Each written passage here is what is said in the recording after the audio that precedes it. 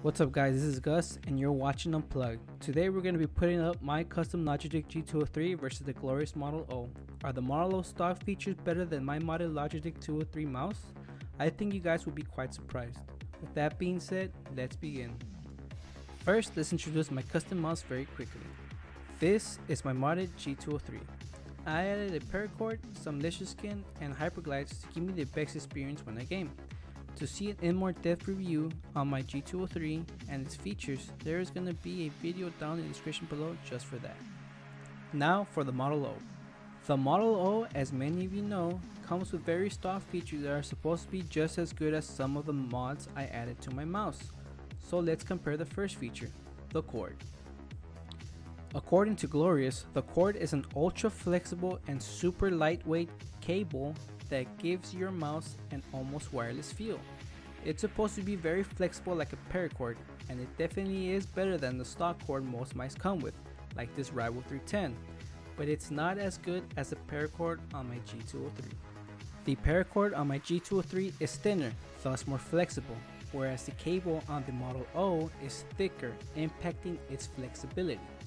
As for the wireless feel, well, the paracord of my mouse definitely gave you a better wireless feeling out of the two due to its flexibility. The next feature we're going to talk about is the feet. Just how good are the feet on the Model O? Compared to the stock feet on my 310, they are definitely smoother. Putting it up against my modded mouse however, well, the feet feel great. I had a hard time trying to figure out which feet were better out of the two as they both felt great. However, there is a slighter smoother feel on my custom G203, so yet again my mouse had the better feature.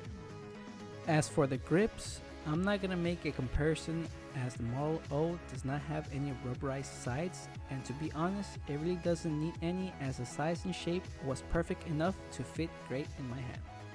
So the conclusion, the features on my mouse are better but not by much. Surprised? Don't be. The Model O is a great mouse for anyone looking for great features on a mouse without having to mess with it. If you want a mouse that feels good, looks good, and performs good, the Model O is a great choice.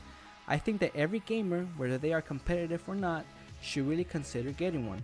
I had to modify my mouse, something a lot of people aren't too comfortable doing, to make it slightly better than the Model O.